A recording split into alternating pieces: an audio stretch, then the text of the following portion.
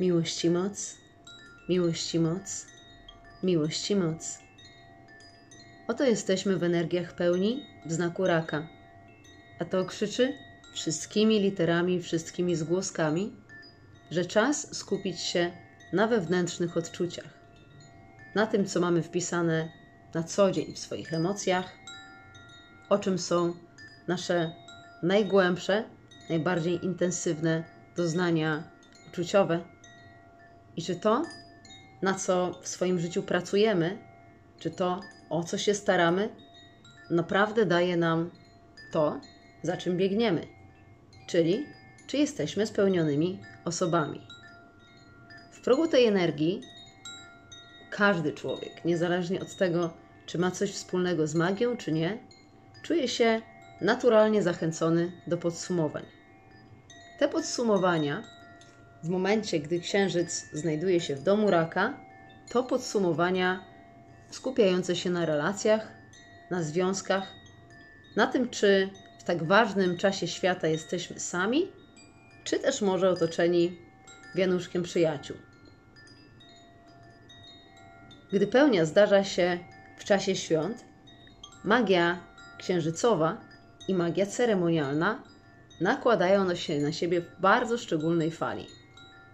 Ta fala wystartowała już trzy dni temu i obecnie znajduje się u swego szczytu.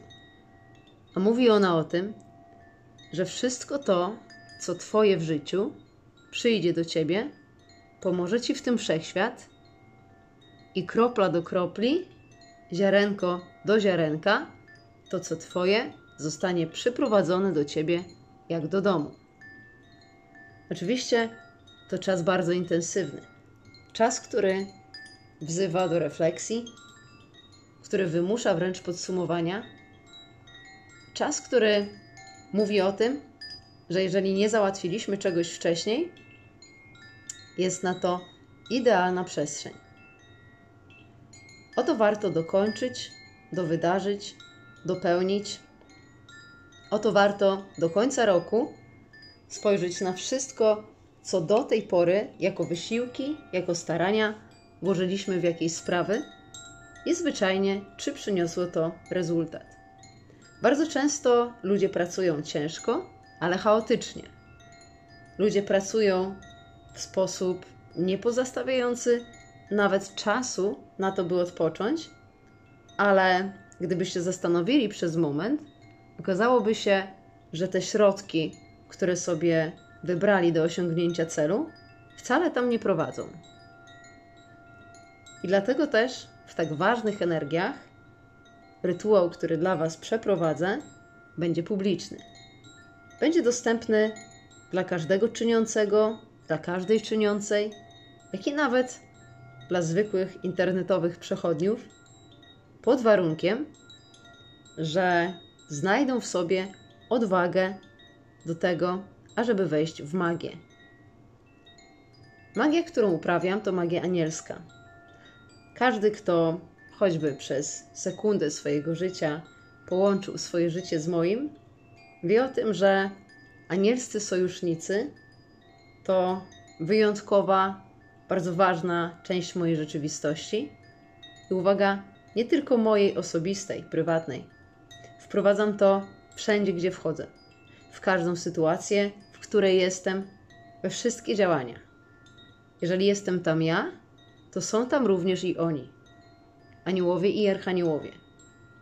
Skrzydlaci, moi współbracia, którzy rozumiejąc energię i rozumiejąc również połączenie z materią ludzką, są w stanie pomóc nam w działaniu. Ale uwaga, aniołowie nigdy nie zrobili nic za człowieka.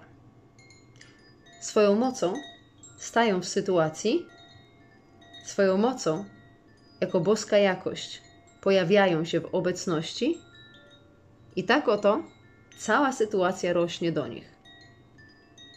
Cała energia uczy się od nich, bo wydarza się w tym kierunku, jest przepisana i strukturyzowana dokładnie do tego pływu, którym też tętni ich światło.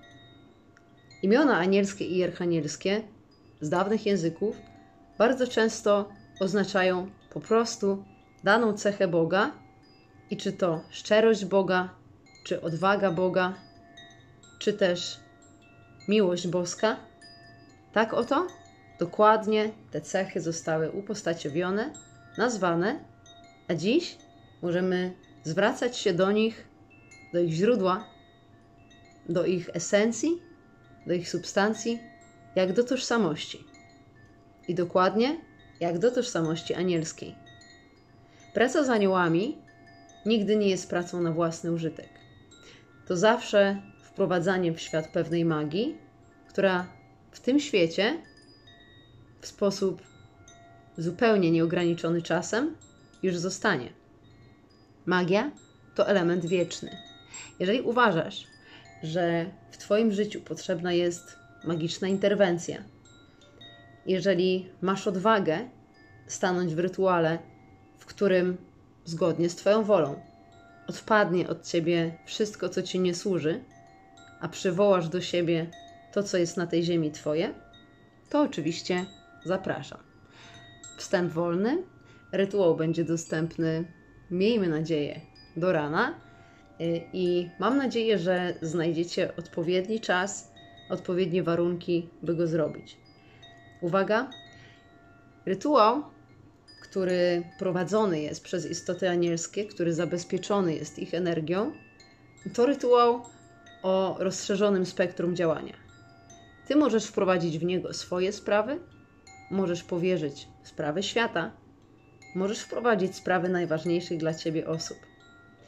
Ale pamiętaj, nigdy z tego rytuału nie wychodzisz, ani też na dobrą sprawę, gdy zapytasz się siebie za 10 lat, wejścia też nie będziesz pamiętać. To było zawsze dla ciebie. To taki moment, taka interwencja boska, która przytrafia ci się, bo o nią zawołałeś i jest możliwa.